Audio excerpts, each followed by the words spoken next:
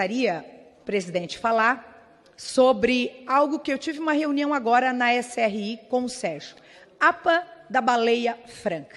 Claro que o sul de Santa Catarina, nós somos privilegiados em ter a baleia franca ali no nosso litoral sul catarinense.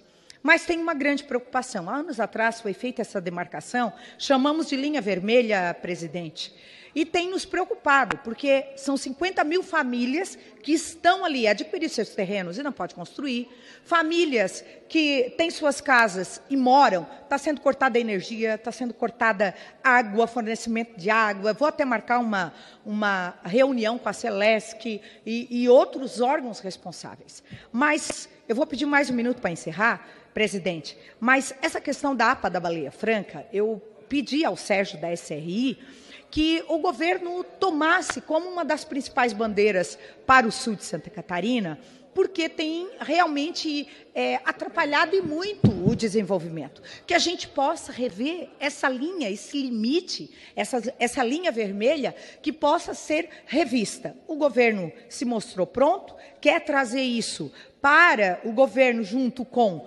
ICMBio, junto com o meio ambiente, com a AGU, com a SPU, SRI. Então, eu quero agradecer ao Sérgio, toda a equipe, que eu estive lá agora e na primeira semana de junho nós vamos tratar essa questão intersetorial.